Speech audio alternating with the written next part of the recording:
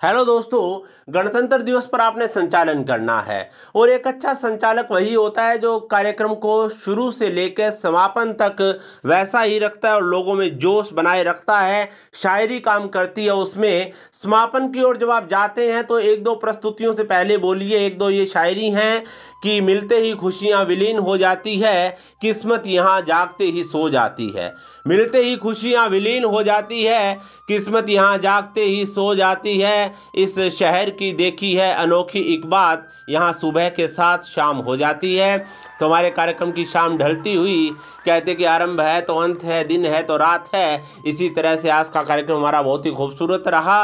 अभी हमारे बीच में एक दो प्रस्तुतियाँ और हैं और इसके बाद माननीय अतिथि महोदय अपना उद्बोधन रखेंगे और इस तरह से आपने ये पहले बोल देनी है। इसके बाद समापन के थोड़े से समय पहले आप ये भी बोल सकते हैं कि सभी का आभार प्रकट करता हूँ। सभी के मिले जुले सहयोग से, साथ से, अतिथियों की उपस्थिति से कार्यक्रम बहुत अच्छा हुआ है कि सबकी सोच को आकार दिया है। आज आपने ये उपकार किया है। तह दिल से आभार प्रकट करते हैं। आपने इस सभा को साकार किया है।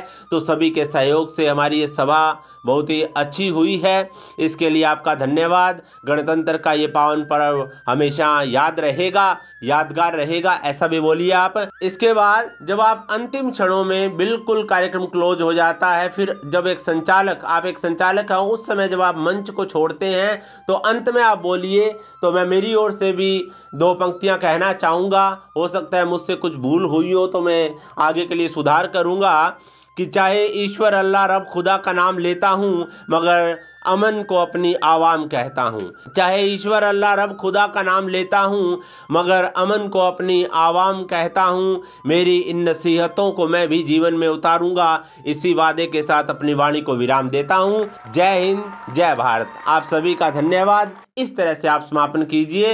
कार्यक्रम के अंतिम क्षणों में ये शायरियाँ बहुत काम करती है और सुनने वाले भी बहुत खुश होते हैं। गणतंत्र दिवस पर अच्छा संचालन कीजिए दोस्तों। धन्यवाद।